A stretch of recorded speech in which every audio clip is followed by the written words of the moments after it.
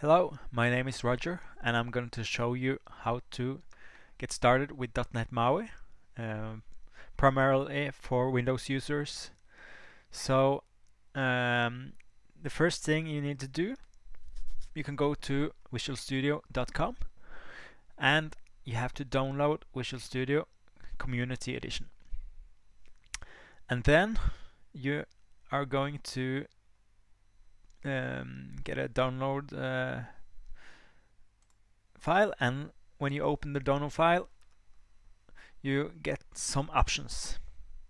Okay so when you you I'm I have already installed mine on my computer so I don't need to install it again. So um, I need some ASP.NET and Node because I use this uh, Visual Studio for other types of development as well, building APIs and stuff.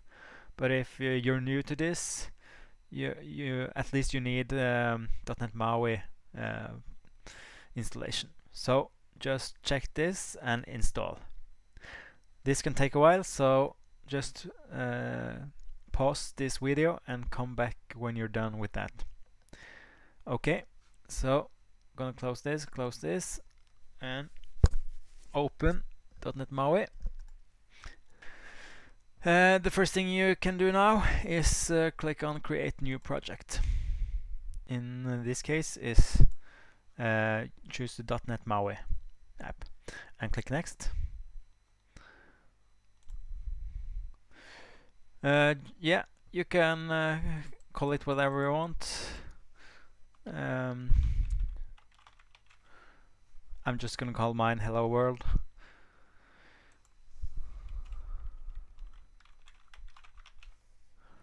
Doesn't matter um, if it's just if you're just testing it out and choose uh, your location you can click here as well.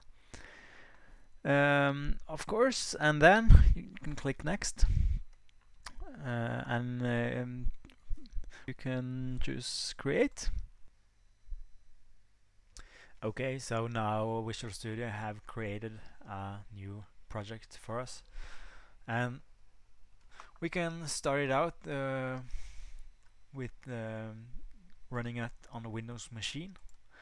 My I primarily use uh, .NET MAUI for mobile apps, so I can show you how to do that. You can choose from the drop down here, and um, if you haven't set up uh, Android emulators, you probably may have to uh, set it up here and you can choose Android Device Manager Tools Android Device Manager. Okay? And when you come in here you may have to set it up the first time. You have to accept uh, some installing uh, conditions. And then you can click on new. Uh, but uh, I mostly use my um, own Android phone actually uh, I use a Motorola G200. It's new and quite fast. So it actually consumes less memory from uh, and computer power from my computer and the development goes faster. I can show you that in another video if you want. Um, but this is an alright way to get started. So when you have this one installed you can choose from drop down here Android emulators and choose your emulator. And just have to wait a couple of seconds maybe. There we are and click the play button. Uh, it's gonna take a while the first time you build uh, the app and open the Android emulator um, now it's up. Uh, I can show you some futures. You can go come here to hello world and look at this. Um, you have uh, something called hot reload. So if I say hello Roger there you go. Pretty fast and uh, really neat. So there's a lot of stuff we can do of course you can build whatever kind of app you want but this uh, the purpose of uh, this app is to show you just uh, how to get started with your first app. You can try to click me. See here, uh, it's um, some code here that uh, adds a number.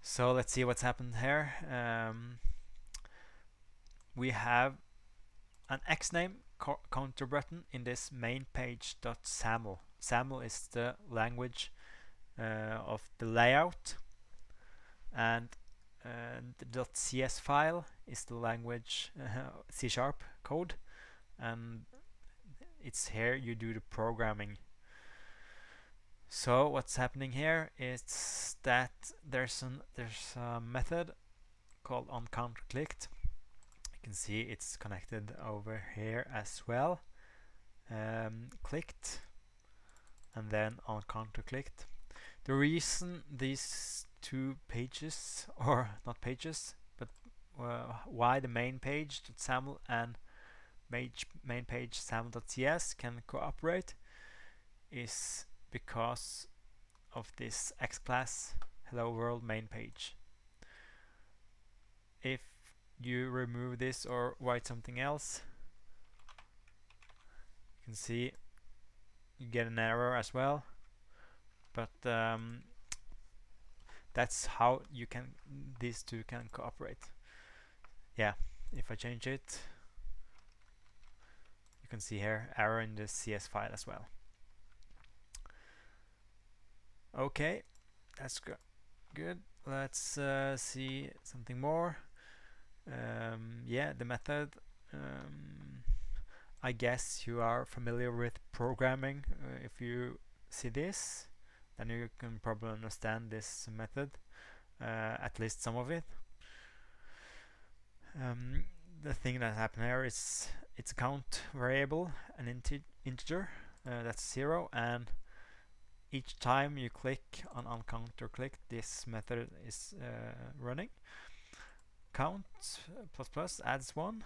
Um, so if the count is one it's added one time and if it's uh, more than one it uh, writes times as well. Just to get familiar with what's happening I can remove the image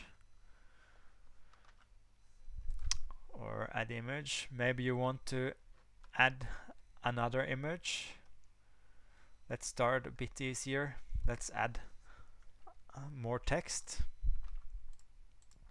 Maybe another line of text and write something else. How are you? Okay and edit the font size. Yeah. I can show you how to change an image though. Uh, just to get started with something because all apps usually have a custom image. There's uh, right now there's you have to follow this procedure. Let's see if you let's um, we can go to back to this page for example and save picture and just uh, save this. I actually stop the app now because when you add a, an image you have to build the projects uh, over again. So you want to go into resources and images and you want to right click here and add existing item and all choose all files and choose the image and can see what happens here if you want to add product icon we can go back to main page and copy this image.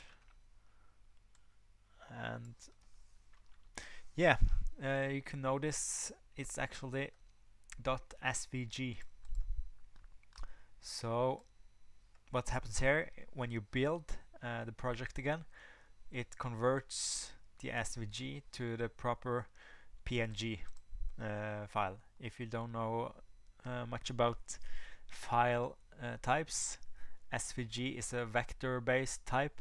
You can make it big without uh, without it uh, getting worse uh, quality.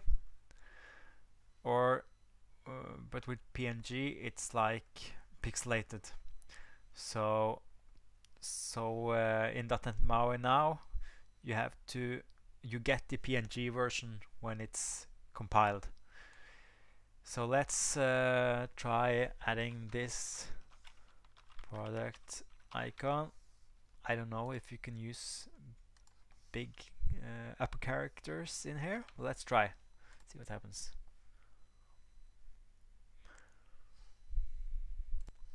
Yeah, there we go. Uh, invalid file names. File names must be lowercase. So let's just change that.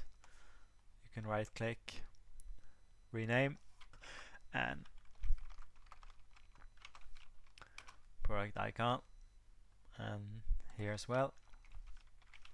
Actually I think you can write SVG here as well if you want and it will work. But um, I think at least in most cases what happens here? Oh uh, actually you can't use uh, this uh, you have to change to underline here as well.